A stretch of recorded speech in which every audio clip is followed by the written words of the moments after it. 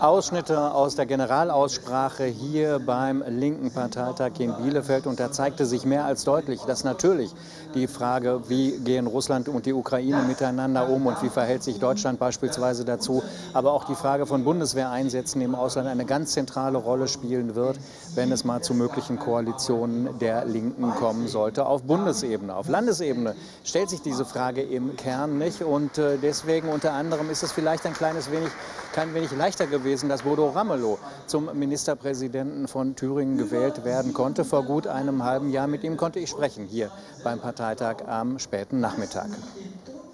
Herr Ministerpräsident, danke, dass Sie sich Zeit nehmen für Phoenix. Seit ziemlich genau einem halben Jahr sind Sie in diesem Amt in Thüringen. Was ist am meisten anders, als Sie erwartet haben? Eigentlich die Konzentration und die Kraft, die ich hintereinander weg hinein investieren muss, ist doch noch mal ein Stück mehr wie das, was ich schon als Oppositionsführer an Kraft investiert habe. Ich bin viel Arbeit gewohnt, aber jetzt muss ich hoch konzentriert meinen Tagesablauf exakt planen. Sie regieren mit einer Stimme, mit einem Sitz Mehrheit. Wie komfortabel ist das? Sehr weil das äh, dazu führt, dass wir uns sehr genau darauf konzentrieren müssen, was wir mit drei Partnern auch gemeinsam durchhalten. Und es kann keiner auf dem Rücken des anderen versuchen, Landgewinn zu organisieren. Deswegen muss Rot-Rot-Grün auch zusammen gewinnen und muss mehr Ausstrahlung nach außen äh, kommunizieren und auch leben wollen und auch ausstrahlen. Das ist jetzt Ihr Modell in Thüringen, da sind Sie die stärkste Partei in diesem Dreierbündnis. Wenn man sich das Ganze mal vorstellt, auf Bundesebene wären Sie ein kleinerer Partner. Ähm, wie könnte das funktionieren? Würden Sie das befürworten? Stehen Sie für ein Rot-Rot-Grün auch auf Bundesebene ein? Es ist immer so, dass man erstmal klar machen muss, wofür will man regieren und mit wem kann man regieren. Es bedarf Vertrauen der Akteure zueinander und es bedarf einer Grundübereinkunft, dass man an bestimmten Stellen Politik gemeinsam verändern will. Es kann kann nicht sein, dass man einfach nur eine formale Mehrheit schafft per Vertrag und dafür ein paar Posten kriegt. Deswegen ist die Grundfrage, die wir in Thüringen geklärt haben, drei Jahre vorher in Gang gesetzt worden über viele Vertrauensmaßnahmen und viele Politikfelder.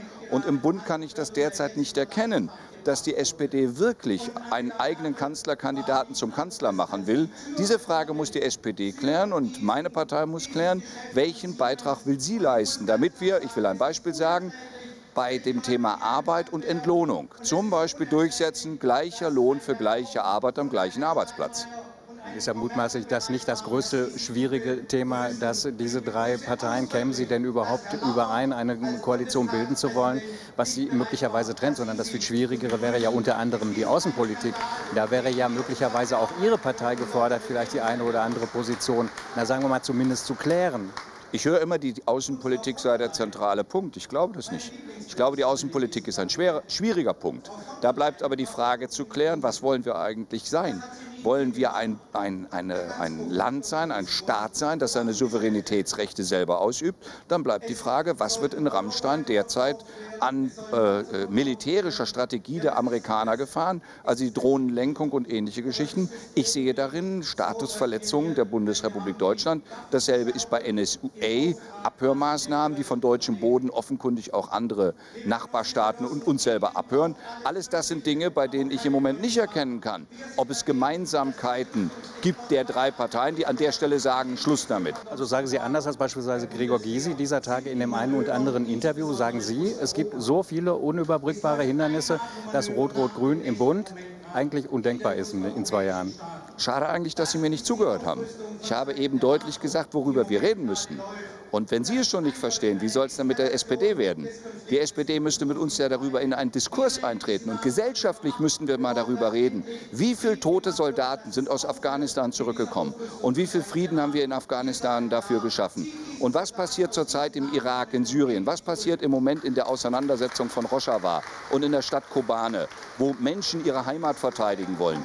Wir in Deutschland tun so, als wenn uns die Flüchtlinge, die Jesiden und die Kurden nichts angehen. Und wir haben lange weggeguckt, als die IS nicht auf der Terrorliste stand, aber die PKK auf der Terrorliste stand. Und deswegen glaube ich, dass wir auch mit so vielen selbst eingeredeten Weltbildern, die immer so diese Feindbilder ganz einfach stricken, nicht weiterkommen. Ich habe deutlich gesagt, ich kann mir vorstellen, mit SPD und Grünen über eine Friedensarchitektur zu reden. Friedensarchitektur ist deutlich was anderes, wie einfach nur anderen Interessen hinterherzulaufen, sondern eigene Interessen zu definieren. Und ich bin ein Vertreter der Bundeswehr in Thüringen. Ich muss mich um die Bundeswehr in Thüringen kümmern. Aber ich sage, diese Bundeswehr hat in Kriegseinsätzen außerhalb der Bundesrepublik nichts zu suchen. Ich habe schon zugehört und ich habe große Teile auch verstanden, auch wenn Sie jetzt so skeptisch reinschauen. Die Frage ist aber, Sie haben ja auch in, innerhalb der Partei unterschiedliche Auffassungen. Und die eine andere Frage ist, gerade wenn Sie Syrien äh, und IS ansprechen, irgendwie Unterstützung für die da Bedrängten und Bedrohten. Sie haben ja sogar ausgeschlossen, dass die mit, mit Waffen unterstützt werden, damit sie sich selbst verteidigen können. Also auch da ist doch eine Diskrepanz zwischen beispielsweise SPD, Grünen und auch Ihrer Partei, wo ich nicht sehe, auch wenn Sie sagen, wir müssen darüber diskutieren. Klar, wir brauchen eine andere Sicherheitsarchitektur etc. Trotzdem sind die Hindernisse doch da, auch jetzt erkennbar so groß, dass es eher unwahrscheinlich ist, dass sie da zusammenkommen.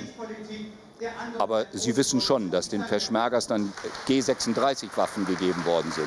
Die Waffen, die Frau von der Leyen gerade ausmustert. Mit denen Sie sehr zufrieden gewesen sind. Ah, Sie wissen das. Sie waren dort. Gelesen. Ah, wissen Sie, das ist das, was ich meine. Wir sagen, die Bewaffnung der Peschmerga ist in Ordnung. Dann kriegen Sie den Schrott aus der Bundeswehr. Und wir sagen, dass die, die in Kobane kämpfen, in Deutschland Terroristen sind. Das passt nicht zusammen. Und deswegen will ich noch mal sagen, die, die im Moment in Kobane als Verteidiger eingesetzt waren und die Leben der Jesiden verteidigt haben, stehen in Deutschland auf der Terrorliste. Und solange wir über solche Paradoxien nicht reden, solange habe ich wenig Neigung, über Außenpolitik als militärische Politik zu reden, weil am Ende sagen wir, okay, die Potentaten in Libyen und äh, im Irak und in Syrien werden beseitigt von mil willigen Militärallianzen. Ich weiß nicht, ob wir nicht mehr Kraft bräuchten, über Friedensarchitektur zu reden. Und da sage ich als Thüringer Ministerpräsident Ja zur Bundeswehr, aber als Bundeswehr, die eine Landverteidigungsarmee ist und keine Interventionsarmee. Herr Ramelow, Herr Ministerpräsident, vielen Dank. Gerne.